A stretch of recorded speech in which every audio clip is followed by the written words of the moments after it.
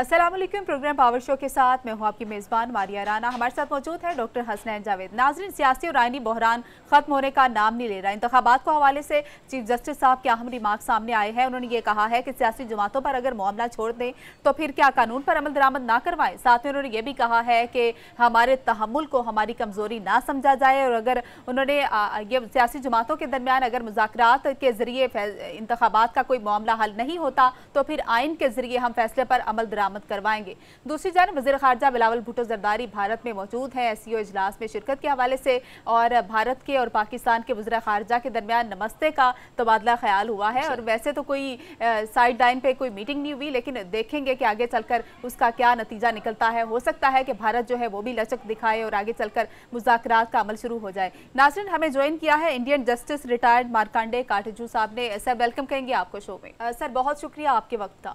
Thank you sir गिले शिकवे इल्ज़ाम दोनों जानब से बरकरार हैं। लेकिन उसके बावजूद आपने भी देखा होगा कि एस के अजलास में हमारे वज़ीर खारजा जो हैं वो बारह साल के तकरीबन अरसे के बाद वहाँ भारत में मौजूद हैं। और हम ये एक्सपेक्ट कर रहे थे कि भारत की जानब से भी लचक दिखाई जाएगी। लेकिन जयशंकर साहब ने यह बयान दिया है कि दहशत गर्दी और मुजाकर जो हैं वो एक साथ नहीं हो सकते।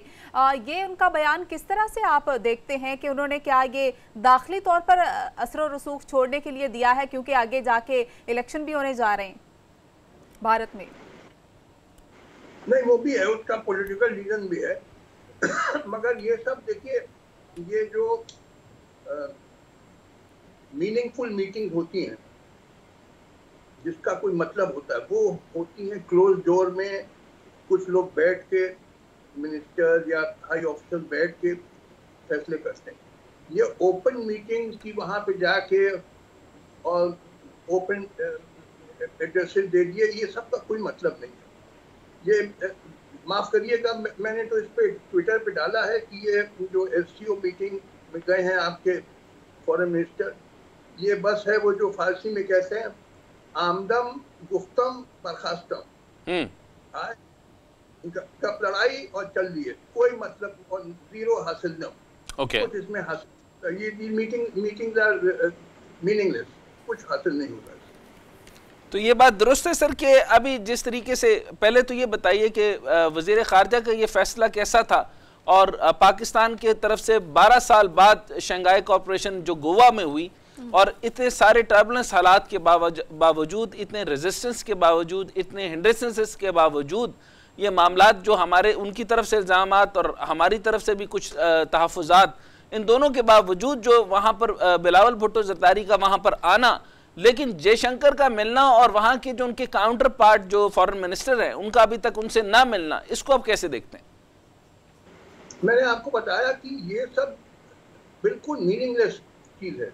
हम्म। ये फॉरेन मिनिस्टर का जाना गोवा में it is an exercise in futility क्योंकि जो मीनिंगफुल टॉक्स होती हैं वो क्लोज डोर में कुछ लोग जो रेलिवेंट लोग होते हैं मिनिस्टर या हाई ऑफिसर्स वो लोग करते हैं वो मीनिंगफुल उसका रिज़ल्ट निकलता है। हम्म। अब वहाँ आप गए आपने भाषण दे दिया और बड़ी बड़ी बातें हो गई और चल दिए घर वापस आ गए। Exactly. इसका मा, माने ना मतलब। हम्म।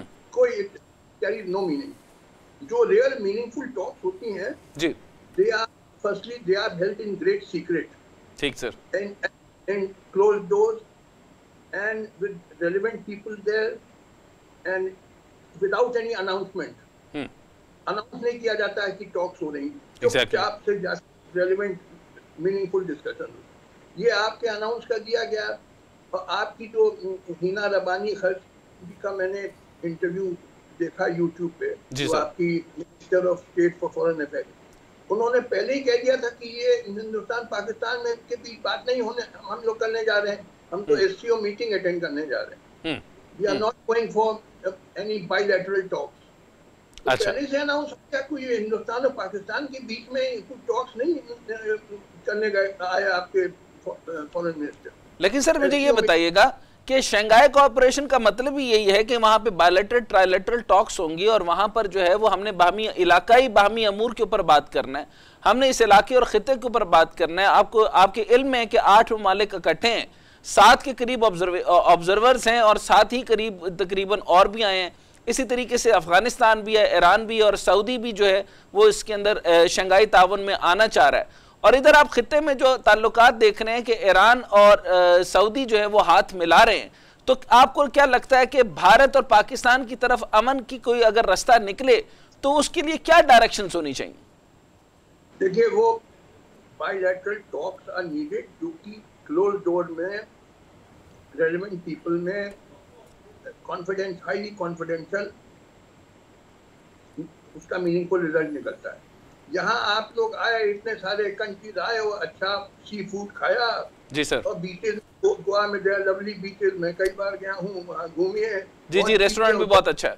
कोई माने ना मतलब कुछ नहीं नतीजा निकलेगा।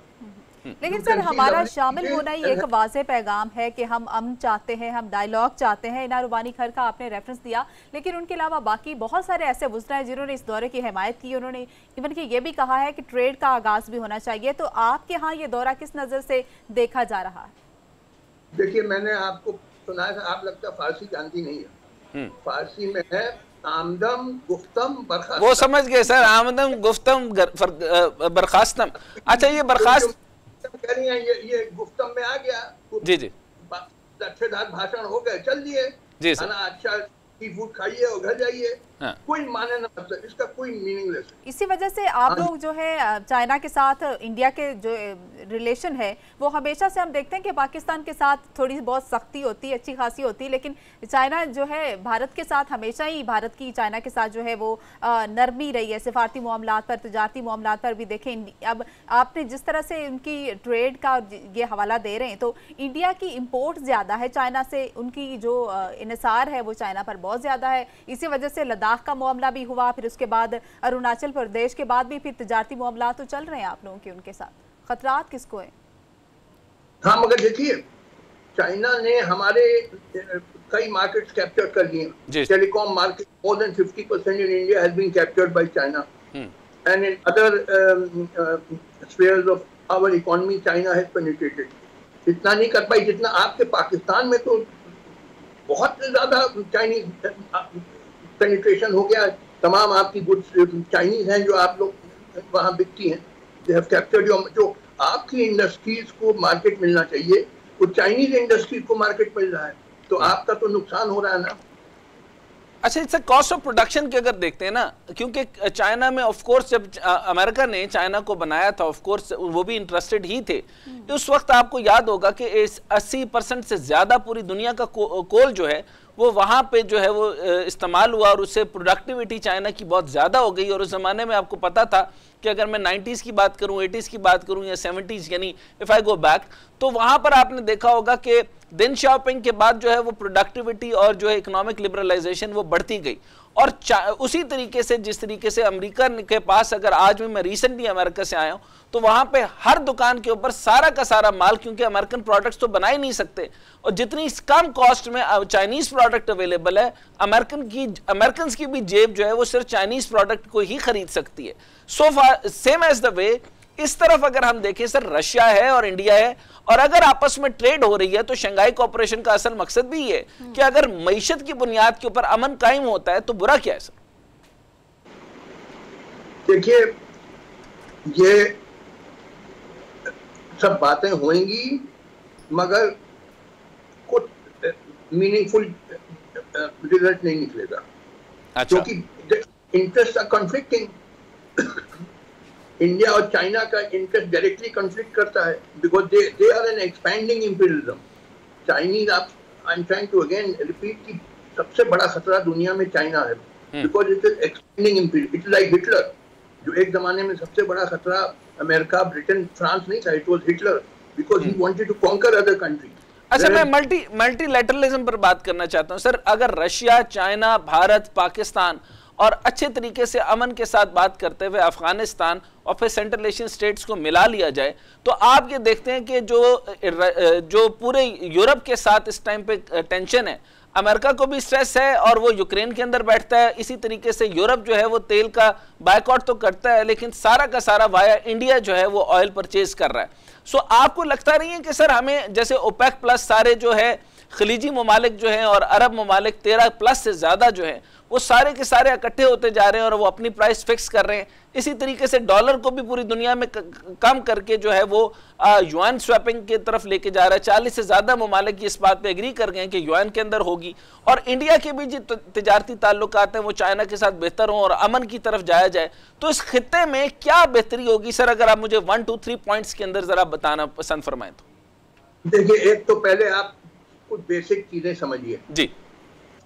पॉलिटिक्स इज़ कॉन्सेंट्रेटेड इकोनॉमिक्स जी ये नोट कर लीजिए अगर आपको पॉलिटिक्स समझनी है तो उसके पीछे इकोनॉमिक्स क्या है एग्जैक्टली चाइना चाइना की इंडस्ट्री एक्सपेंड करती जा रही है and they want more markets they want more raw materials they want to capture pakistan they have already captured a large part of the pakistani market they have captured some part of our market they have Africa में घुस गए हैं बहुत बहुत घुस गए Africa में Latin America में घुस गए सब क्योंकि they have 3.4 trillion dollars which is hot money looking for avenues for investment you know जो इंपीरियलिस्ट क्या होता है? इंपीरियलिस्ट होता है कि एक वन स्टेज ऑफ़ इंडस्ट्री जब रीच हो जाती है then it must enter other countries to see because the domestic market is saturated. Now they must capture foreign market because the industries are expanding. तो Chinese industries expand करती जा रही हैं। तो उनके साथ आपका ये बात करना कि उनके साथ दोस्ती हो जाए फिजूल की बातें हैं क्योंकि आप इकोनॉमिक समझते नहीं है। Thing don't work like that countries are governed by their self interest. नाजरीन Indian justice retired Markandey Katju हमारे साथ मौजूद हैं। गुफ्तगू का सिलसिला जारी है। एक ब्रेक लेंगे ब्रेक के बाद वापस आएँगे हमारे साथ रहेगा ब्रेक के बाद खुश आमदीद नाजरीन हमारे साथ Indian justice retired Markandey Katju मौजूद हैं। गुफ्तु का सिलसिला जो है वो जारी है। आ, सर वहीं से कंटिन्यू करेंगे। चाइना के हवाले से हम बात कर रहे थे कि चाइना जो है उसमें मे, उसमें मेरी अपनी पर्सनल मेरा ये व्यू है कि रीजनल इकॉनमी को देख लें ट्रेड को देख लें स्टेबिलिटी को देख लें या अमनो अमान और दीगर उमूर को देख लें। तो चाइना ने हम हमेशा उसमें ऐसी बात किया जो सबके मुफाद में हो। तो ताल्लुक को ख़राब करने की क्या ज़रूरत है? अगर वो हमारे ही फ़ायदे के लिए कर रहे हैं खासतौर पर इकोनॉमी को अगर देखें तो। देखिए ये बिल्कुल बेवकूफ़ी की बात है कि आपके फ़ायदे के लिए कर रहे हैं।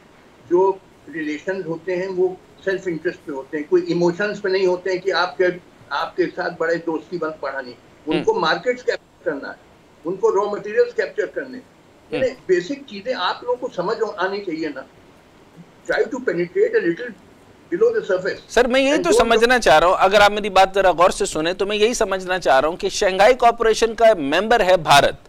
अच्छा भारत के साथ ऑफ़ कोर्स पाकिस्तान भी है और पाकिस्तान के अलावा जो है वह बाकी ममालिक आपके सामने शंघाई कॉरपोरेशन के हैं।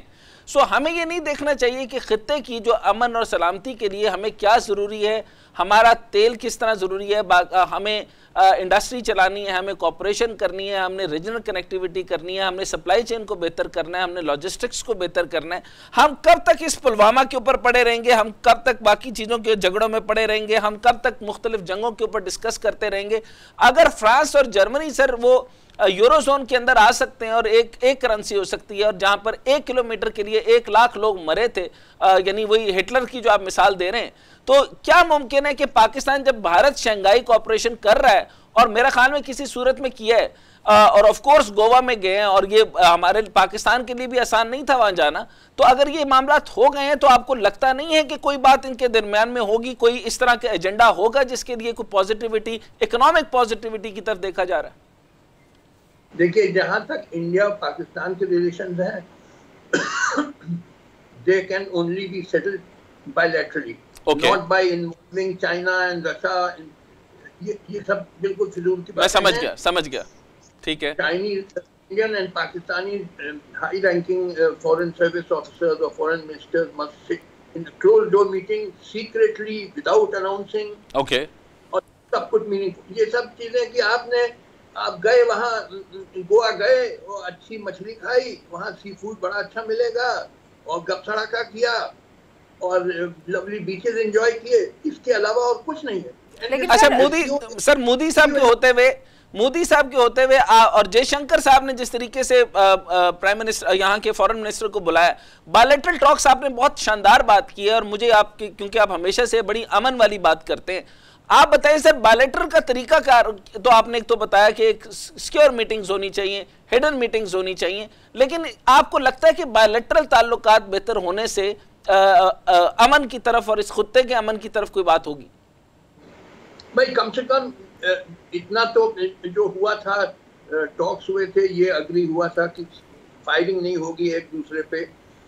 जो शायद दोनों तरफ़ के आर्मी ऑफिसर बैठे थे उन्होंने अग्री किया कि हम एक दूसरे को क्रॉस बॉर्डर फायरिंग नहीं करेंगे।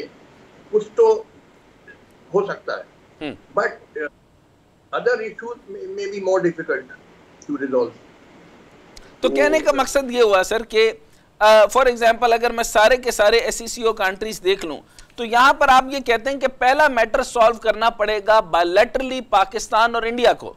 और उसके बाद हम जो है वो बाकी ऐसी एस कंट्रीज़ की तरफ़ जाएँगे। अदरवाइज़ आपकी वाली बात के न सिस्टम गुफ्तम बरखास्तम yes that's what i believe. कि ये सारे इतने सारे अब वो मैंने देखा यूट्यूब पे आ, और वो ट्विटर पे आपके बिलावल भुट्टो साहब मिल रहे हैं। कितने कंट्रीज़ के वो मिनिस्टर से और ये सब शेक हैंड हो रहा है। इसका मतलब क्या भाई? Does it mean anything it mean nothing आप गए आपने दिखा दिया कि हम कितने अच्छे आदमी हैं। I such good man I am trying to be a good neighbour ये लीग ऑफ़ नेशंस अगर आपने हिस्ट्री पढ़ी हो जी। जो फ़र्स्ट वर्ल्ड वॉर के बाद जो बना था it was called League of Nations it was the predecessor of the United Nations United Nation में तो कुछ टीथ हैं कुछ पावर्स हैं सिक्योरिटी काउंसिल है। वहाँ तो कुछ नहीं था। वो हिटलर बढ़ता जा रहा था और कंट्री कॉन्कर करता जा रहा था। और हर बार लीग ऑफ़ नेशंस एक रेजोल्यूशन पास कर देता था कि हाँ बड़ी बुरी चीज़ हुई, बड़ा नाइंसाफी हुई। इसके अलावा कुछ तो ये एस सी ओ वगैरह है तो I am no faith in these bodies they are important bodies कोई माने न मतलब दिखाने के लिए कि हम लोग सब बड़ी दोस्ती, कितने कंफ्लिक्टिंग इंटरेस्ट हैं। Chinese want to want to capture our markets और आप उनके साथ दोस्ती it is like having friendship between a wolf and a sheep China के बारे में सर मैं आपकी कंसर्न देख रहा हूँ और सुन रहा हूँ। ये बात तो ठीक हो गई। अच्छा मुझे ये बताइए कि 2005 आपको याद होगा कि जब उन्होंने अमेरिका जब आ, इनका मेंबर बनना चाह रहा था और आपको याद होगा कि एशियान 2002 और 2003 के अंदर जो है वो भी इनिशिएट हुआ था चाइना ही की तरफ़ से। तो साउथ ईस्ट एशिया की रीजन की तरफ़ ताल्लुक नहीं बनता था अमेरिका ने। अब सारा का सारा 2014 में जब देखें तो एशियान को भी ड्राइव कर रहा है अमेरिका। 2005 के अंदर उन्होंने मेंबरशिप सर अप्लाई की तो एस ने उनको रिजेक्ट कर दिया। क्या रीजन सी उनको रिजेक्ट करने की जबकि वो एक सुपर पावर है यूनिलेटरली देखिए China is coming up as another super power and this must have been done at the instigation of China.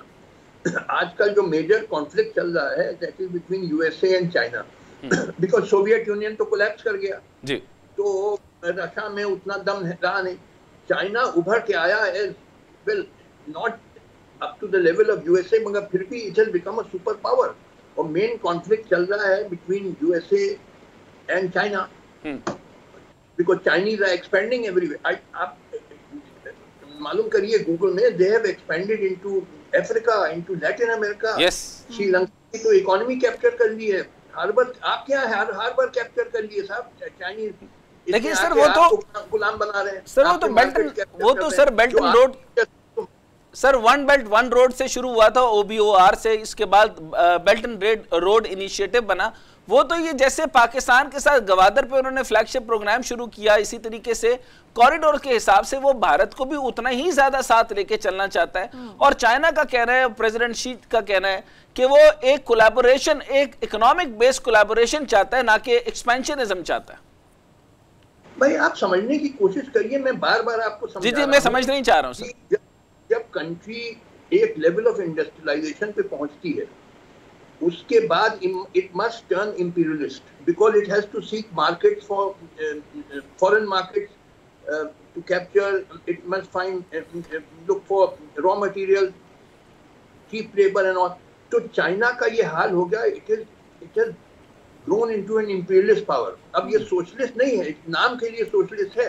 In fact it is imperialist because it has to capture market. It has a huge reserve of मैंने देखा था 3.4 trillion dollar foreign exchange reserve exactly exactly amount of hot money looking uh, hungrily for market, foreign markets to capture, foreign raw materials to capture. तो आप उससे दोस्ती करेंगे? तो जैसे आप भेड़िए से दोस्ती करना चाहते हैं।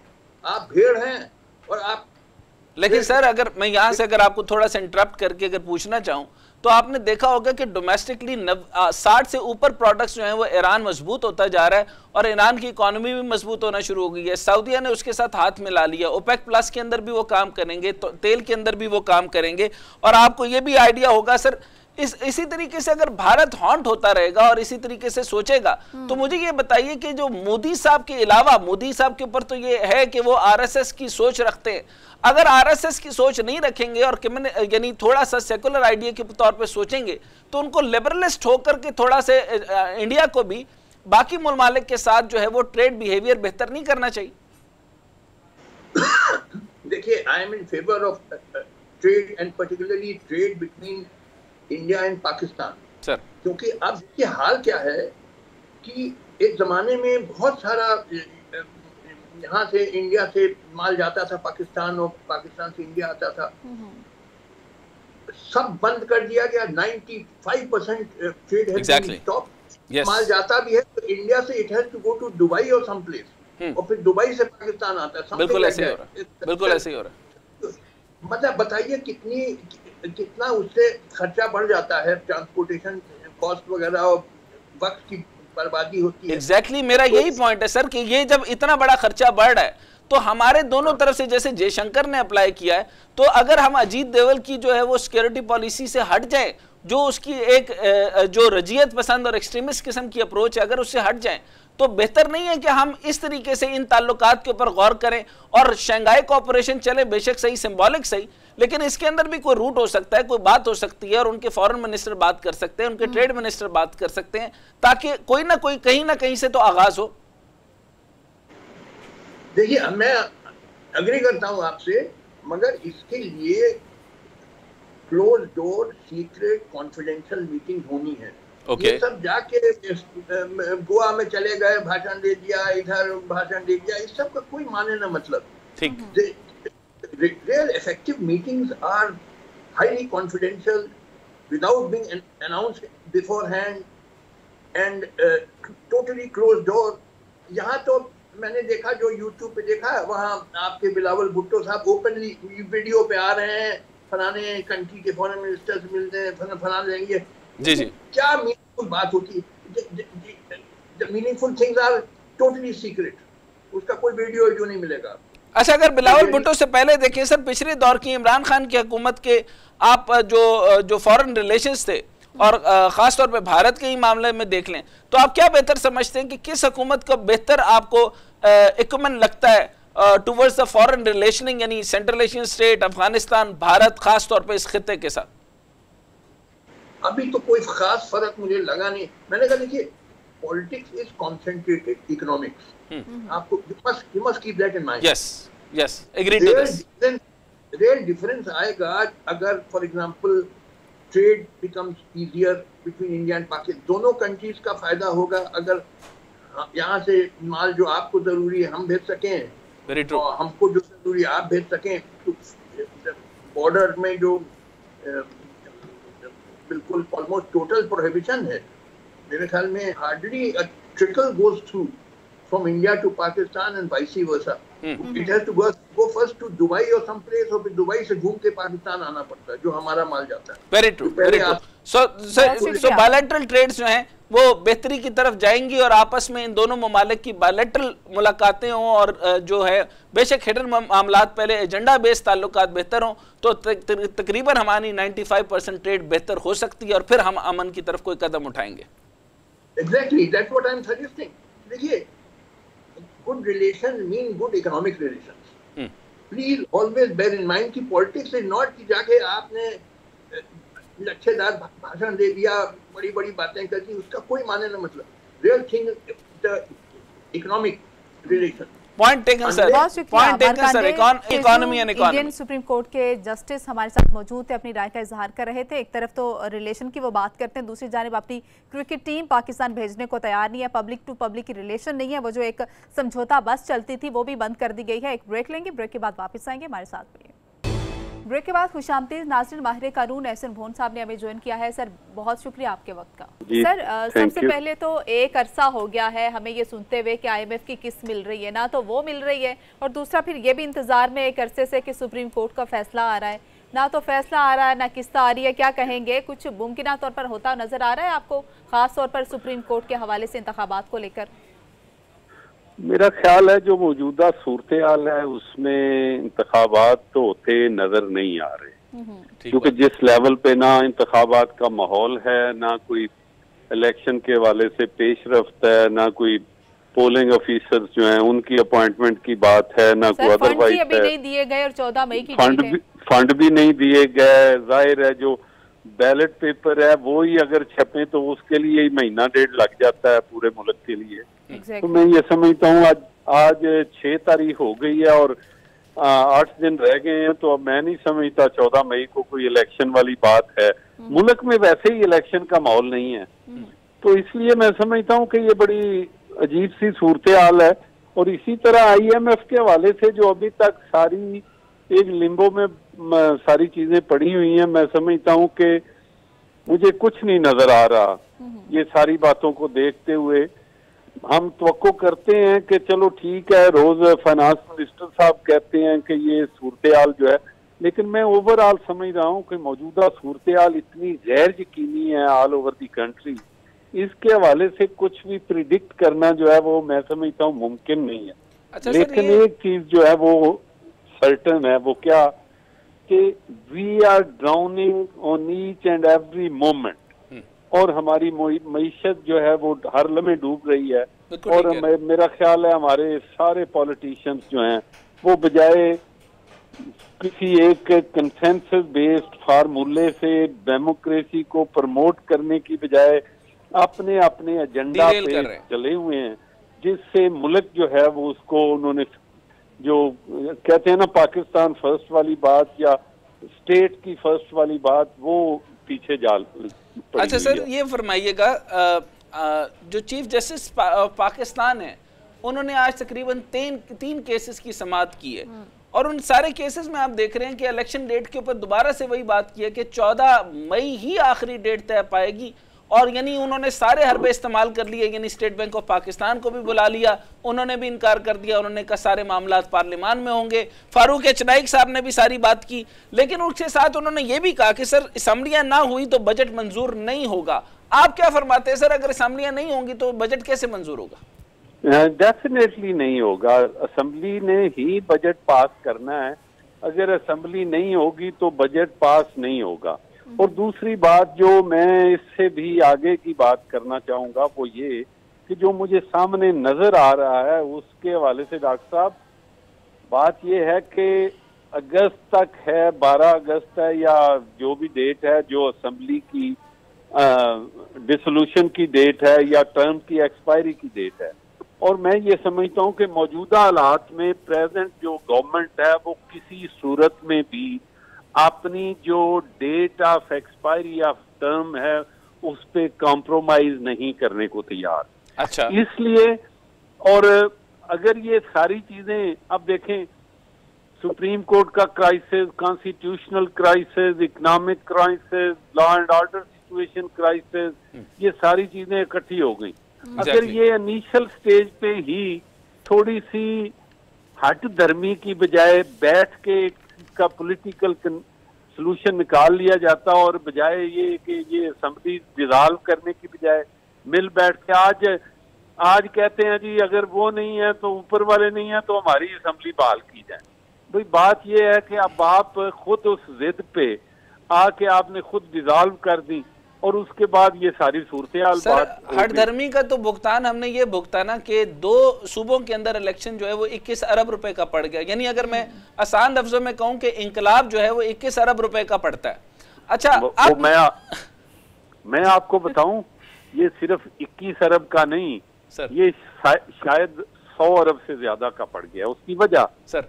कॉन्स्टिट्यूशनल इस क्राइसिस के बाद इस हट के बाद जब रोज सड़कों पे बात होती है कारोबार जो है वो अपना रुकता है exactly. बाकी शोबा ज़िंदगी जो है मफलूज होते हैं और आपकी सारी असम्बली आपकी सारी गवर्नमेंट का जो एक ही मरकज होता है कि इन सारी चीज़ों को कैसे रोकना है करना है और अपने मुल्क को भी चलाना है तो ये मैं समझता हूँ कि ये किस नहीं कई सौ अरब का पड़ गया आपको अच्छा सर और ये, ये सिर्फ़ और सिर्फ़ एक बात पे कि जी नहीं मैं वज़ीर आज़म हूँ हम्म। तो ठीक है और कोई होगा। देखें डेमोक्रेसी में जब वही 20-25 दोस्त थे लोग थे जिन्होंने मोहतरम इमरान खान साहब की हुकूमत बनाई हुई थी जब वो सेटिस्फाई नहीं रहे तो वो दूसरी तरफ़ चले गए। अच्छा सर एक तो और बात में मसला मेरा समझ में नहीं आ रहा और मेरा फंस गया यानी जिसको कहते हैं ना माइंड स्टक हो गया कि दो दफ़ा चीफ जस्टिस ऑफ़ पाकिस्तान ने ये उनको कहा कि 14 मई को करें पहले कोई और डेट दी थी। उन्होंने कहा कि 90 दिन के मुताबिक इलेक्शन बड़ा लाउड एंड क्लियर है कि 90 दिन में इलेक्शन होने चाहिए और इंटरम गवर्नमेंट जो है वो प्रोलॉन्ग नहीं हो सकती। अच्छा तीसरी दफ़ा भी जब वो बुला रहे हैं और ये सारे मामला करेंगे सर ये कंटेम्प्ट क्यों नहीं लगाते? कंटेम्प्ट कॉल क्यों नहीं करते? हम्म।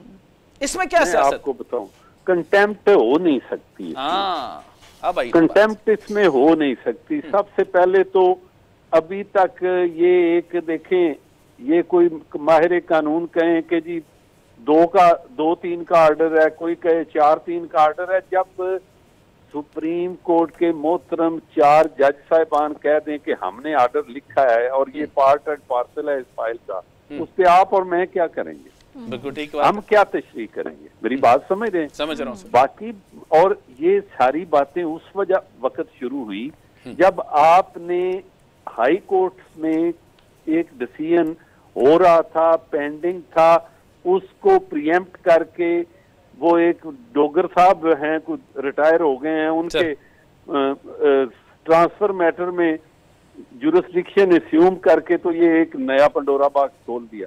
तो मैं समझता हूँ कि जब कहीं कोई ऐसा शायबा आएगा शक का कि ये नेक नीति पे काम नहीं है तो वहाँ चीज़ें फिर बेबरकती होती है। अच्छा सर, साथ में ये भी बताइए कि आप जरा मैं सोल्यूशन आपके साथ पूछना चाहता हूँ। सर जस्टिस अतर मिनल्ला साहब ने कहा है कि असम्बलियाँ बहाल करने का नुक्ता उठाया था लेकिन हुकूमत की दिलचस्पी ही नहीं थी। हम्म। तो आप क्या कहते हैं सर ये मसला बहुत सारे माहिर कानून से मिले वो तो इस वक्त इंकलाब की हालत में है। जैसे एतजाज एहसन साहब हैं या बाकी जो आ, माने जाते हैं और वो सारे के सारे इस हक में नहीं है। सर आप क्या कहते हैं असम्बलियाँ बहाल करने के मसला हल हो सकता है?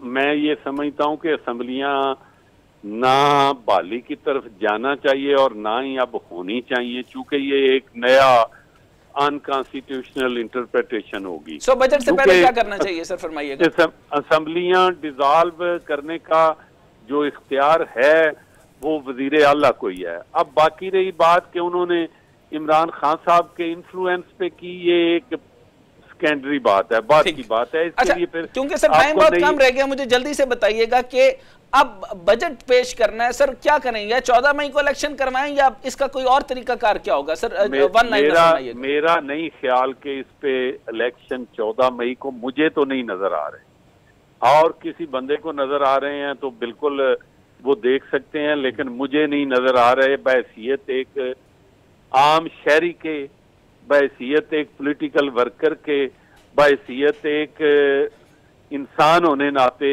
एक कानून के तालब इलम के होने के नाते मुझे इलेक्शन नज़र नहीं आ रहे। बहुत शुक्रिया हमारे साथ मौजूद हैं इंतबात के हवाले से और ओवरऑल जो है कानूनी पेचीदगियाँ उस हवाले से वो हमें गाइड कर रहे थे अपनी राय का इजहार कर रहे थे। और इंतबात को लेकर अब देखते हैं कि मुम्बई ही बना हुआ है कि ये कब इसका ये हल होगा और ये आइनी और जो सियासी बहरान चल रहा है ये कब खत्म होगा। इसी के साथ ही मुझे डॉक्टर साहब को इजाज़त दीजिए। अपना बहुत सारा ख्याल रखिएगा। खुदा